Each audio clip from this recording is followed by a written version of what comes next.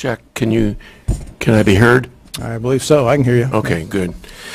Hello, and thank you for the opportunity to speak before the committee today. I am here to support Representative Glenn's bill, H.R. 4220.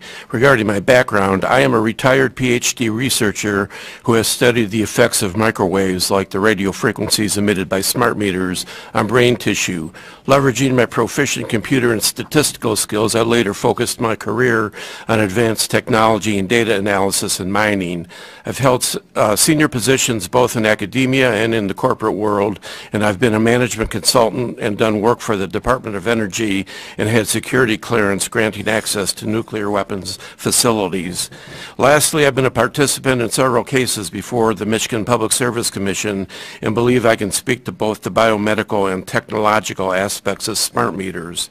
I'd like to address the issue of cost recovery as it pertains to DTE's opt-out fees.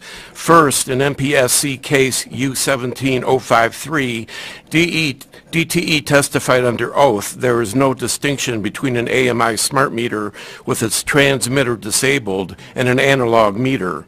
And under oath, they also acknowledged there is no mandate in Michigan law that requires the AMI meter to be installed. Incidentally, I sent copies or had copies distributed to the committee members and all the references are, are in there so you can, you can check the authenticity of my claims.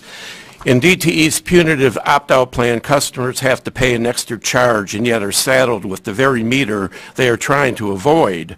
A smart meter still has electronic characteristics that are disruptive to electromagnet electromagnetic sensitive individuals, even with the transmitter off.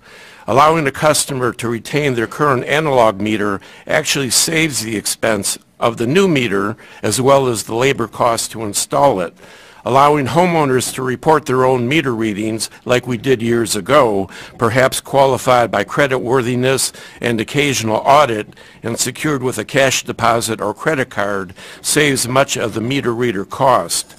DTE is quick to pass incurred expenses along to a special class of customers, but when there's opportunity to have those same customers save DTE money by not requiring the cost of a new meter, DTE defers.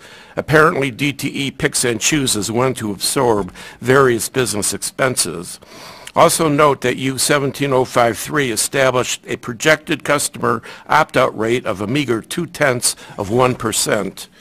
Many businesses in a competitive environment absorb such minor expenses as a cost of doing business, especially companies that place a high value on customer satisfaction. But DTE does not operate in a competitive environment and does not fear losing customers. And where is the concern for DTE's added expense resulting from additional highly paid cybersecurity staff necessary to protect those computerized smart meters? And why should opt-outers share that cost burden? And what are the replacement costs for the considerably shorter lifespan of an AMI meter?